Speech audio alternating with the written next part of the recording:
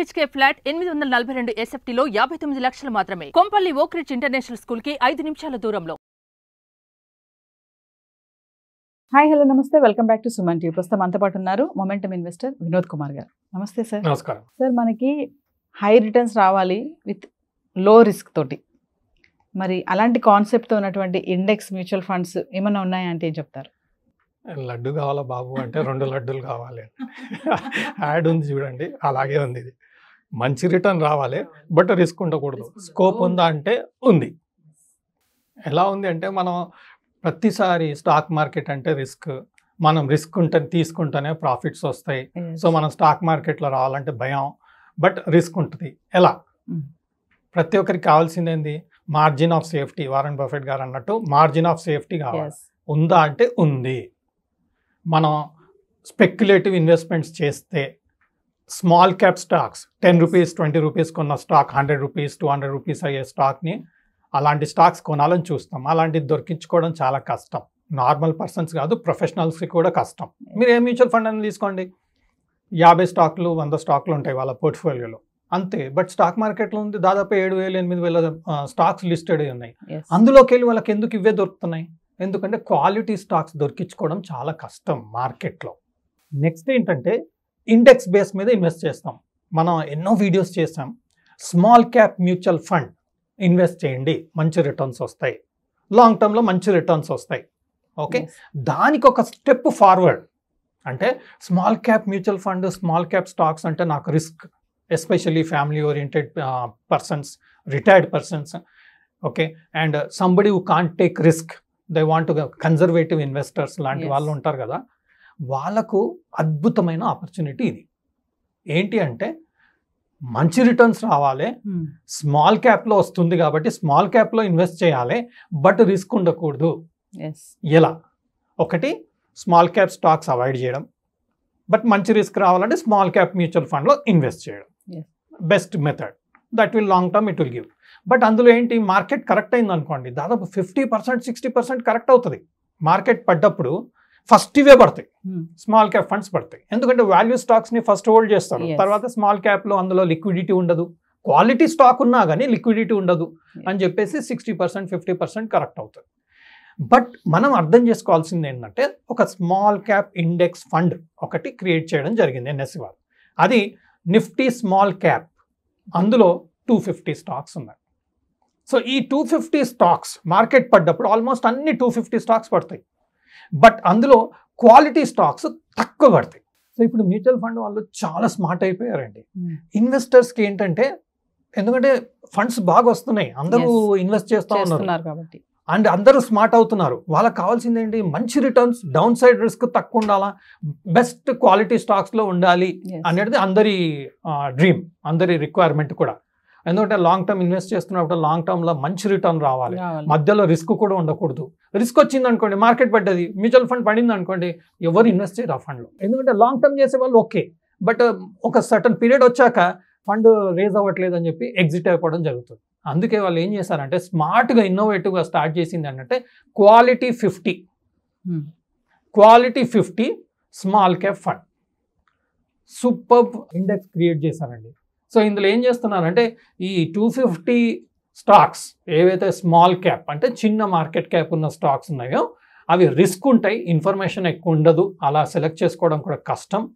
అలాంటి వాటికి ఒక యాభై స్టాక్స్ సపరేట్ చేసి అందులో ఇన్వెస్ట్ చేయడం జరుగుతుంది ఈ పర్టికులర్ ఇండెక్స్లో. సరే ఏమన్నా మరి ఇందులో మంచి మ్యూచువల్ ఫండ్ ఏదైనా ఉంది అంటే ఏం కన్సిడర్ చేస్తారు? డిఎస్పి వాళ్ళు అంటే డిఎస్పి మ్యూచువల్ ఫండ్ వాళ్ళు ఏం చేశారంటే hardly seven eight months back Hmm. ఒక పర్టికులర్ ఫండ్ అనౌన్స్ చేశారు. అందులో ఇప్పుడు కార్పస్ తక్కువ ఉంది. బట్ పర్ఫార్మెన్స్ మాత్రం లాస్ట్ సెవెన్ ఎయిట్ మంత్స్లో బాగుంది. ఒక విధంగా మనం చెప్పాలంటే మార్కెట్ బాగుంది కాబట్టి ఈ ఫండ్ బాగా చేస్తుంది అని అర్థం. బట్ ఇండెక్స్ కన్నా బెటర్ చేస్తుంది. So that is a clear indication that you know small cap fund market బాగుంది అనుకోండి స్మాల్ క్యాప్ ఫండ్ మంచి రిటర్న్ ఇస్తుంది. ఎస్ ఎస్పెషల్లీ స్మాల్ క్యాప్ ఫోకస్లో ఉన్నప్పుడు. బట్ ఈ quality fifty small cap fund ఏం చేసిందంటే అండి ఆ స్మాల్ క్యాప్ టూ ఫిఫ్టీ కన్నా బెటర్ రిటర్న్ ఇచ్చింది. అంతే కదండి. ఇప్పుడు అందరూ ఒక వరద వస్తుందండి అందరూ కొట్టుకుపోతారు. ఓకే? బట్ ఇందులో స్ట్రాంగ్ ఉన్న వాళ్ళు కొంత బయటపడే బయట అవకాశం ఉంటుంది. అవకాశం ఉంటుంది. ఎస్ అలా ఈ క్వాలిటీ ఫిఫ్టీ స్టాక్స్ ఏమయ్యాయంటే బెటర్ పర్ఫామ్ చేయడం జరిగింది. సో మార్కెట్ పెరిగినప్పుడు ఇవి బెటర్గా పెరుగుతున్నాయి. అంటే అది fifteen percent small cap two fifty return ఇస్తుంటే యావరేజ్గా ఇది సెవెంటీన్ పర్సెంట్ ఇవ్వడం ఒక పాస్ట్ హిస్టరీ దాదాపుగా. ఫిఫ్టీన్ ట్వంటీ ఇయర్స్ హిస్టరీ తీసి గమనిస్తే ఏమైందంటే మార్కెట్ పడ్డప్పుడు స్మాల్ క్యాప్ టూ ఫిఫ్టీ ఎక్కువ పడుతుంది. బట్ ఇందులో నుంచి క్వాలిటీ ఫిఫ్టీ స్టాక్స్ మాత్రం తక్కువ పడుతుంది. అంటే ఇప్పుడు లో రిస్క్తో కూడా హై రిటర్న్స్ పొందే ఛాన్స్ చాలానే ఉన్నాయి. ఇప్పుడున్న మార్కెట్ ట్రెండ్ అదే అండి. ఇప్పుడున్న మార్కెట్ ట్రెండ్ ఏంటంటే మనం ప్రతిదీ రిస్క్ తీసుకుంటేనే లాభం వస్తుంది అనేది అపోహ అయిపోయింది. ఎందుకు అంటే ఇన్ఫర్మేషన్ అవైలబుల్ ఉంది పొటెన్షియల్ ఉంది అండ్ అందరూ ఒక పద్ధతిగా బిజినెస్ చేసి గ్రో అవ్వాలన్న ఆలోచన వచ్చింది. సో ఇలాంటప్పుడు ఏమవుతుందంటే ఇలాంటి ఇన్నోవేటివ్ ఐడియాస్తో వచ్చే మ్యూచువల్ ఫండ్స్లో మంచి ఫ్యూచర్ ఉంటుంది అని నా ఒక అభిప్రాయం. నేను ఇందులో లంసం చేశాను. ఎస్ఐపి కూడా చేశాను. బట్ నేను సెబీ అనలిస్ట్ని కాదు. నేను చేసిన రీసెర్చ్లో నాకు వచ్చిన ఆపర్చునిటీతోనే నేను ఇన్వెస్ట్ చేయడం జరిగింది. ఎందుకంటే ఎప్పుడైనా క్వాలిటీ స్టాక్స్ అది లార్జ్ క్యాప్ ఉండండి మిడ్ క్యాప్ ఉండండి. స్మాల్ క్యాప్ ఉండండి మనకు సంబంధం లేదండి. మనం ఎందుకు స్మాల్ క్యాప్లో పెడతాం? మంచి రిటర్న్స్ వస్తాయని పెడతాం. లార్జ్ క్యాప్లో కూడా వస్తాయి బట్ ఇందులో ఎక్కువ వస్తాయి కదా. మనం హ్యూజ్ గ్రో అవ్వాలంటే లార్జ్ క్యాప్లో ఉంటే గ్రో అవుతాం. But slow and steady wins the race అంటే ఈ. రోజు మన అందరికి నచ్చదు. ఫాస్ట్గా రావాలి. ఫాస్ట్ ఫార్వర్డ్ ఉండాలి బట్ రిస్క్ ఉండకూడదు. ఇలా పెట్టాలి ఇలా రావాలి నాకు. మంచి రిటర్న్స్ రావాలి లాంగ్ టర్మ్లో బెస్ట్ కార్పస్ క్రియేట్ అవ్వాలి. అది ఫ్యామిలీ పర్సన్ అయినా సరే కన్జర్వేటివ్ ఇన్వెస్టర్ అయినా సరే ట్రేడర్ అయినా సరే ఈవెన్ ఎల్డర్స్ అయినా సరే. సో అలాంటప్పుడు మనం క్వాలిటీ ఓరియంటెడ్ కాన్సెప్ట్ తీసుకొని అది లార్జ్ క్యాప్లో అయినా సరే మిడ్ క్యాప్ అయినా సరే స్మాల్ క్యాప్ అయినా సరే ఇన్వెస్ట్ చేస్తే ఒక అష్యూర్డ్ ఇన్వెస్ట్మెంట్ రిటర్న్ వచ్చే అవకాశం ఉంది. అలాగే స్మాల్ క్యాప్లో చేస్తే అగ్రెసివ్ స్మాల్ క్యాప్ కాబట్టి అందులో రిస్క్ ఎక్కువ ఉంటుంది కాబట్టి క్వాలిటీ ఓరియంటెడ్ స్మాల్ క్యాప్లో పెట్టుకుంటే బెటర్ రిటర్న్ వచ్చే అవకాశం ఉంటుంది. హిస్టరీ కూడా అదే చెప్తుంది. మార్కెట్ పడ్డప్పుడు స్మాల్ క్యాప్ ఎక్కువ పడుతుంది. బట్ ఇందులోని క్వాలిటీ ఫిఫ్టీ స్టాక్స్ మాత్రం తక్కువ పడుతుంది. అండ్ మార్కెట్ పెరిగినప్పుడు స్మాల్ క్యాప్ టూ ఫిఫ్టీ అగ్రెసివ్గా పెరుగుతుంది. బట్ క్వాలిటీ ఫిఫ్టీ ఇంకా అగ్రెసివ్గా పెరుగుతుంది.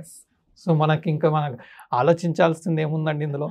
కొంత అనలైజ్ చేసుకొని జాగ్రత్తగా ఇప్పుడు వస్తున్న innovative funds gone are the days mutual funds అంటే ఏదో ప్యాసివ్ ఫండ్స్ అని ఈ యాక్టివ్ ఫండ్స్ కూడా పెద్ద రిటర్న్ ఇవ్వవని ఆ హిస్టరీ పోయిందండి. ఇప్పుడు ట్రెండ్ అంతా చేంజ్ అయింది. ఎస్ మనం ఎక్కువ కష్టపడకుండా కొంత రీసెర్చ్ చేసుకొని మన ఫైనాన్షియల్ అడ్వైజర్ ఒక సజెషన్ తీసుకొని సొంతంగా కాన్ఫిడెంట్గా చూసుకొని ఎంతంది ఇందులో అంతా మీరు five hundred rupees thousand rupees hundred కొన్నిట్లో హండ్రెడ్ రూపీస్ ఎస్ఐపి. కూడా చేసుకునే అవకాశాలు కూడా ఇస్తున్నారు కాబట్టి అందులో కొంత ఎక్స్ప్లోర్ చేసి కొంత కొంత ఇన్వెస్ట్ చేసుకుంటా చూసి మంచిగా అనిపించింది. స్టెప్ అప్ చేసుకుంటా వెళ్ళండి. మంచి రిటర్న్స్ వచ్చే అవకాశం ఉంది. Thank you sir thank you